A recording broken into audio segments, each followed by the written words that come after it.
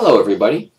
Uh, welcome to the fifth game of the first World Championship match between Zukertort and Steinitz.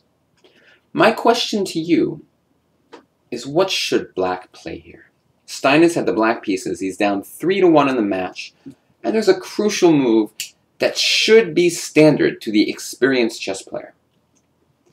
Uh, so, Steinitz played the correct move at this point.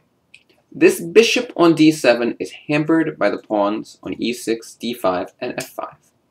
And therefore, Steinitz found the move, bishop to b5. Why is this a good move? Well, we're going to trade that bad bishop off. It's very simple. When you have a bad piece, you just want to trade it off. White moved the bishop away. Black played queen a6. White played g4. Black played g6. h3.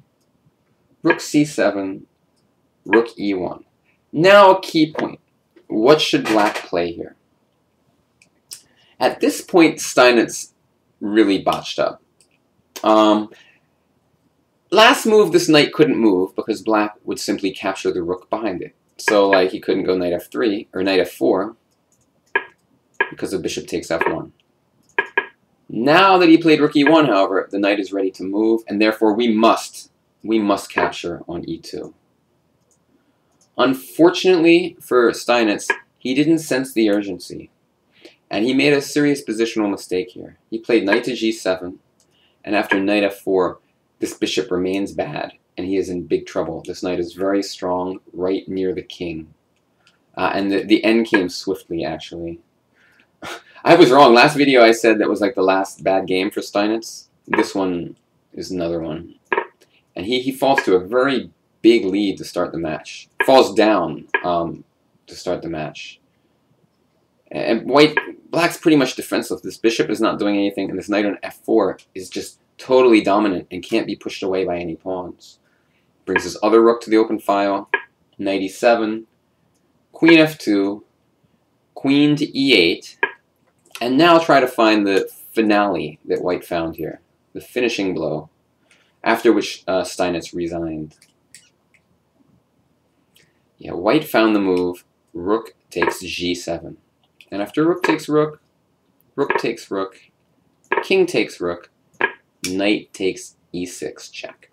I mean, Steinitz loved to attack, and when you gave him attacking chances, he would he would latch onto it. I mean, I would say, I know I estimated Steinitz's strength earlier in the video as something around 2250 to 2300. Probably, I think under 2300, honestly um, but not not much. I mean, he did have some some pretty strong understanding of, of key strategical ideas. Although failing to capture an e6 this game was a big mistake.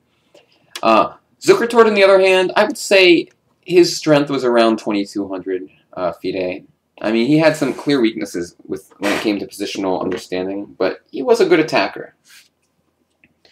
Um, so, thank you for watching, and now Zukertort is up to 4 to 1 in this match he really easily could have been world champion.